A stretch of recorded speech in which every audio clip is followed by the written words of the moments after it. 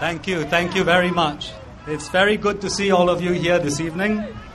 I would like to welcome you.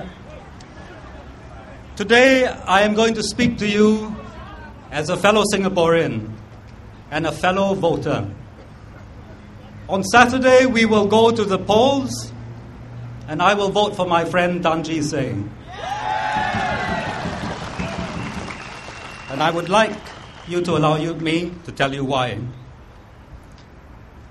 The president is the first citizen of our nation.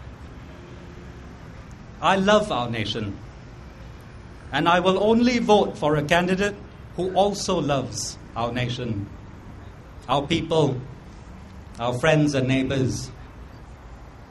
I will not vote for those who defend the right of the government to hide information about the GIC from us.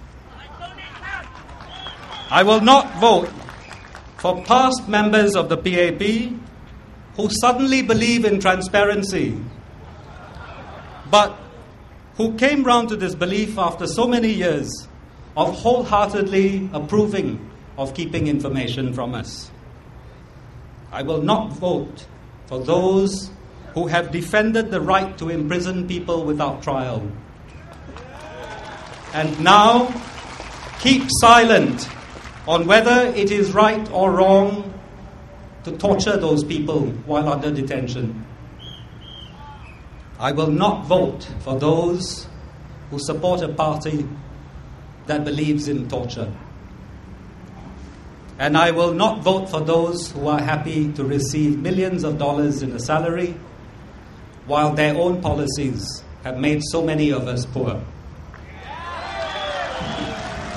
In, in short, I will not vote for those who do not share the aspirations, the hopes and the dreams, the fears and the uncertainties of our people. I will vote for a person in whom I can invest my commitment to the nation, my love for its traditions, my pride in its history, my sense of brotherhood with my fellow citizens. I will vote for the person whom I can trust to safeguard our reserves and ensure that the top jobs go to the right people. But most importantly, I want to vote for the person who holds within himself the Singaporean nation. I will vote for the candidate whose sense of decency has called him out of a quiet, private life a modest and simple life to serve the people. I want to be able to say confidently to my president go and represent our nation on the international stage. Go and be a dignified host to our visitors. Go and tell the world how proud we are of our little red dot. I want to tell you a personal story. I have a little niece who was born in Singapore, but she has spent all her life abroad. When she was nine, she was very curious about our presidency because it's very different in her country. So her mother, my, my sister, encouraged her to write to our then president.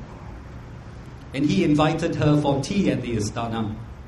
They had soft drinks and curry puffs and spring rolls, and then he took her for a tour of the building.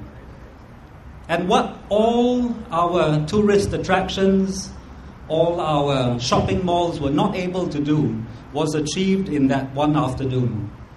He made her a guest of our nation. He showcased our country to her. He was her host. What do we look for in a host? A host is someone who represents the dignity and honor of the household who is responsible for its hospitality and responsible for welcoming strangers. So that little child came away with a very high estimation of our country. She came away knowing the high standards we have here, knowing that we are a land of warmth, knowing that we embody the values of humanity. To me, the center of our nation is the Istana. Every time I pass by the uh, ceremonial entrance at the eastern end of Orchard Road, I, I feel proud because I know that everything that is best about our country, everything that is nicest, is embodied there. In the olden days, Parliament appointed someone, selected someone who was at the height of his career, and asked them to represent us. And then 20 years ago, Parliament saw fit to expand the responsibilities of the President and asked him to safeguard the family savings and safeguard the family elders. Why? About the family savings, our national reserves, the answer is pretty obvious. But in terms of our family elders, the people who hold the top jobs in Singapore, which the President has approval powers over, we look for the values and the virtues of wisdom, of courage, of pride, a sense of purpose, selflessness, patience, a good name, and a commitment to the future of our country. And we also look for someone similar to head our country, someone who can act justly. And I would like to say to you as a fellow voter, a fellow Singaporean, on this historic occasion, that Mr. Tan Jee Say has these qualities.